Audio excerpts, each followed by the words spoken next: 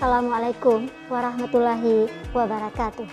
Tak ada yang lebih esa selain Allah Subhanahu wa taala.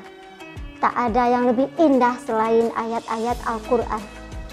Tak ada manusia yang lebih sempurna selain Nabi Muhammad Sallallahu Alaihi Wasallam. Semoga peringatan hari kelahiran Rasulullah Sallallahu Alaihi Wasallam menjadi pengingat bagi umat Islam agar terus mengikuti jejak langkahnya menjadi rahmatan lil alamin.